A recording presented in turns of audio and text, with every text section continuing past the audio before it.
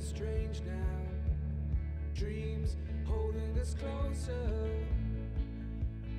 Meadows of our youth. A hundred